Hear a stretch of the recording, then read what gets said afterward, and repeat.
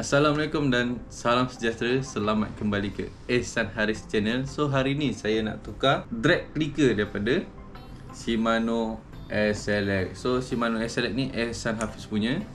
Dia komplain Bila ikan tarik keluar tu Tak ada bunyi langsung Senyap Dan drag pun cair. So Ehsan Hafiz decide untuk tukar drag clicker Masuk dekat SLX Shimano ni. So drag clicker ni kau beli kat mana? Aku beli kat Gemas Tackle. Gemas Taker Berapa ringgit untuk satu set ni? Satu set ni lebih kurang 120 siap postage. 120 ok So drag clicker ni harganya 120 Untuk SLX Shimano SLX biasa ni. Harganya 120 one set. So tanpa masa jom kita upgrade Shimano SLX ni ada drag clicker So let's go.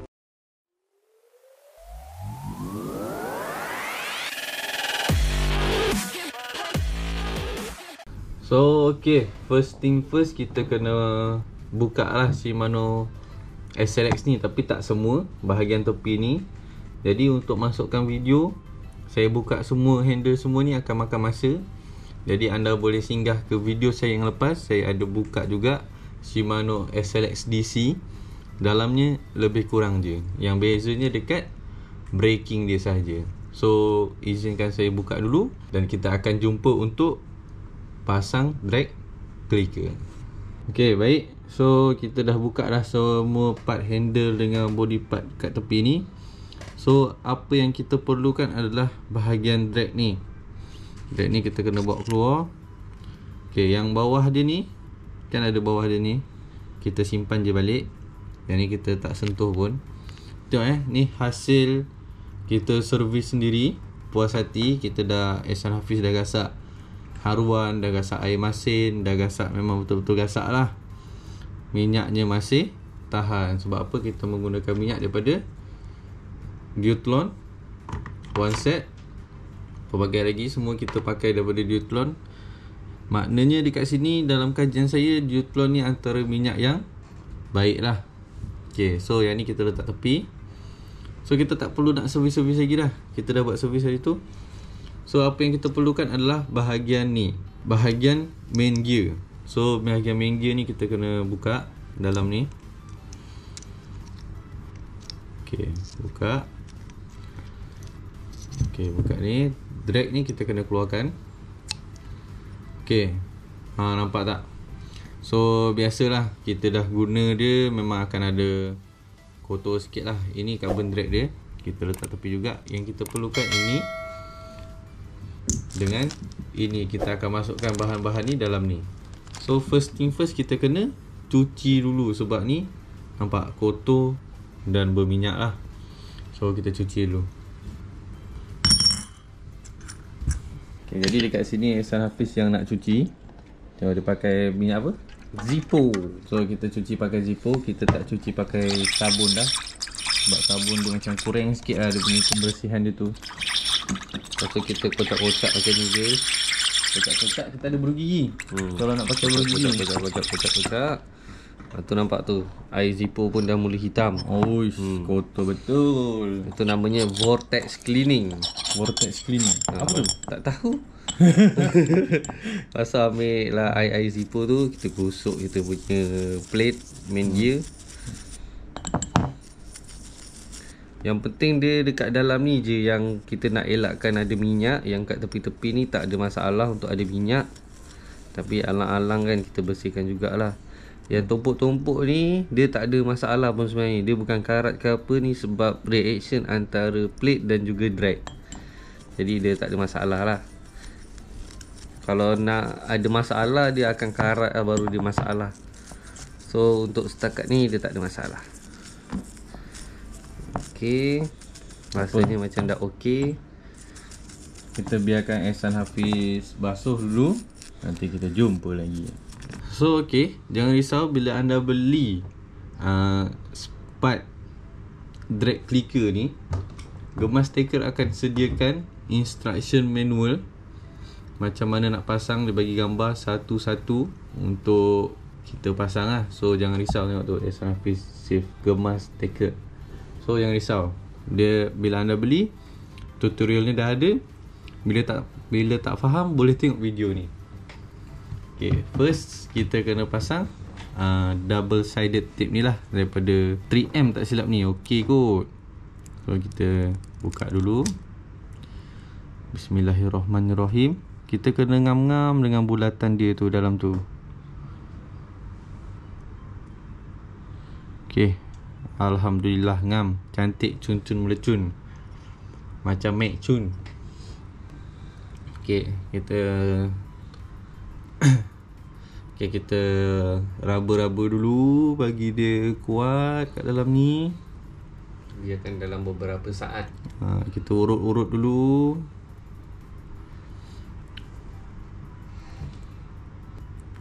Bila kita dah yakin dia kuat, okey lah ni kot. Okey, seterusnya kita kena buka um, tampal yang belah depan ni. Oh, susah sikit. So, kita dah buka dah double sided 3M dalam ni. Kita buka je dulu. Okey, kemudian nombor 2. Nombor pertama tadi kita masukkan double sided tape. Yang kedua kita kena masukkan spiral gear ni lah untuk drag clicker kita. Pastikan dia dekat tengah-tengah. Sekejap ada kamera tak nampak. Okey. So teknik yang saya gunakan saya ambil yang ni supaya kita boleh nampak dia di tengah-tengah.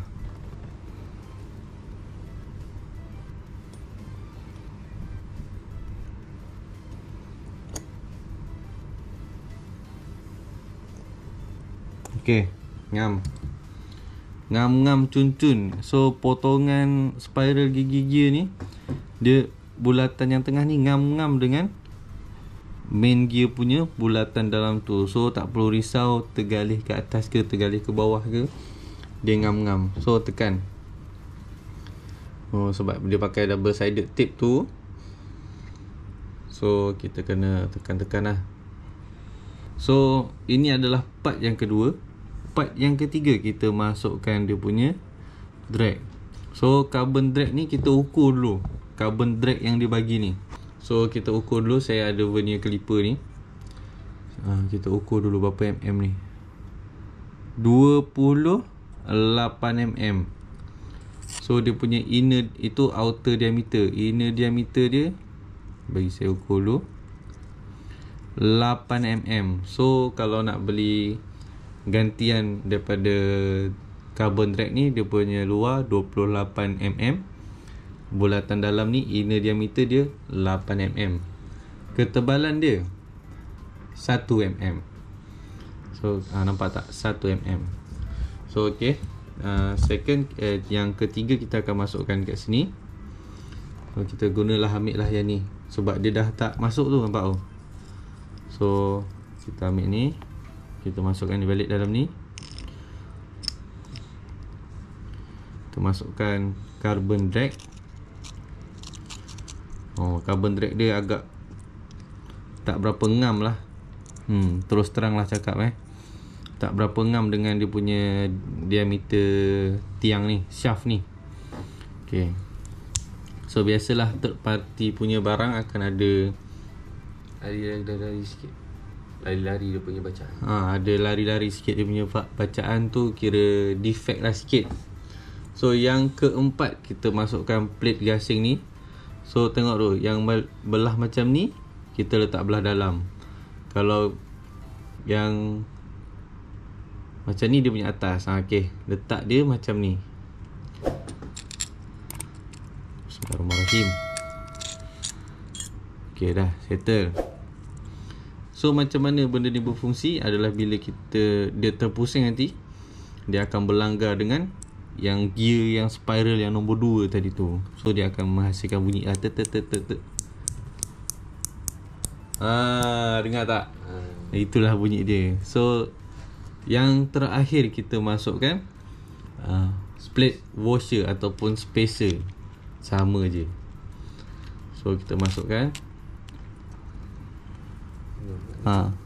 So dia ada terus terang cakap dia memang ada defect sikit sebab bulat dia punya potongan tu tak ngam dengan shaft yang ada dalam ni. Jadi dia macam masuk tu keras sikit. Susah sikit nak masuk. So kat situ ada benda dua perkara yang saya tak puas hati. carbon drag ni tak sama diameter dengan shaft. Yang washer ni tak sama dengan diameter shaft ni juga. So ada dua perkara yang biasalah third party kan. Uh, tak ada benda yang perfect. So hmm. sekarang dah siap dah kita punya drag clicker. Jadi benda dua benda yang kita tak pakai tadi adalah original Shimano washer dengan drag dia. Kita tak pakai, kita tukar third party. So ni kita letak tepi dulu. Boleh simpan untuk buyer ke bila kita jual nanti buyer buyer nak barang asal so kita ada lah. So jadi untuk part drag clicker ni dah siap. So izinkan saya tambah minyak dekat main gear ni. Dan kita pasang balik lah dia punya body-body dengan handle nya semua. So nanti kita akan saya akan sediakan video untuk sebelum dan selepas pasang drag clicker ok sekarang kita akan try drag daripada original Shimano ni. Berapa kilo dia punya drag asal dia? Ok let's go ok nampak eh naik 4 ok dia keluar keluar drag tu kat 5 kilo. Okey. 5 lebih. 5 lebih. Dapat tak shootnya? Dapat dapat. Jadi okey, kita belum tukar drag lagi. Drag asal dia masih lagi 5 kilo. So, apa yang dia claim dekat box detail tu memang tepat. Okay, so sekarang drag masih lagi drag asal. Kita nak dengar bunyi dia. So, bila drag keluar tu, tak ada bunyi langsung. Senyap. Okey.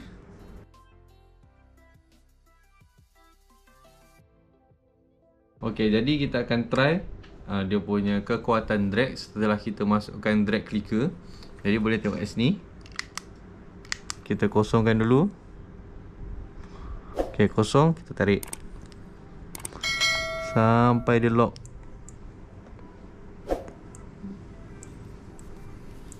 Dia lock. Okay lock.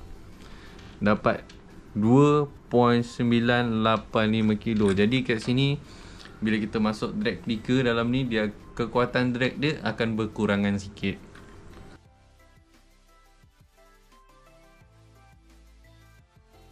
Okay so okay kita akan dengar dia punya drag clicker. Setelah kita pasang Drag clicker dalam Shimano SLX ni. So dengar eh Uh. Best best best. Hmm. Lagi sekali, kita belanja lagi sekali untuk penonton. Uh. Okey. So so itulah tadi bunyi Shimano SLX yang dah ada drag clicker. So jom kita tanya owner pendapat ownernya macam mana. So okey, owner macam mana setelah memasang drag clicker? So dah pasang drag clicker Kita punya bunyi Track memang syahdu guys. Ha, Korang boleh dengar tu Syahdu. Tapi agak kecewa sikit Sebab kita punya drag power ada loose Daripada 5 kilo. Jadi lebih kurang Kita orang dah try yang paling max Kunci habis Lebih kurang 3.5 guys. Kalau dalam video kita susah sikit Nak dapat exact amount So dalam lebih kurang 3 kilo Dalam kita punya video tapi kita orang dah check habis 3.5 je yang termampu. Tu pun dah kunci habis tak ada masalah. So agak kecewa kat situ sebab kita ada loss 1.5 kilo lah guys. Tapi tak ada jadi masalah Sebab kita dah ada Drag clicker. Jadi kesimpulan pada video kali ni Bila kita pasang drag clicker ni Daripada third party punya barang Yang pertama untuk carbon drag dia ada kurang sikit sebab diameter dia tak berapa tepat. Yang kedua, washer plate warna merah tadi tu pun dia punya ukuran dia tak berapa tepat bila kita masukkan tak ngam. Dan yang ketiga, kita akan kehilangan drag power. Tapi kelebihannya satu, kita dapat bunyi drag clicker. So, kepada anda yang tengok video ni untuk upgrade kepada drag clicker, boleh fikir dulu. Boleh tengok video ni dulu. Fikir betul-betul sebab harganya RM120 RM20 Agak mahal lah sikit kan? Hmm. Tapi kita nak barang yang puas hati. So fikir dulu betul-betul sebelum upgrade kepada drag clicker So itu saja video pada kali ni. Jangan lupa leave a like, comment and subscribe. Kita lagi sikit nak mencecah 1000 subscriber. So itu saja sekian terima kasih. Assalamualaikum. Thank you.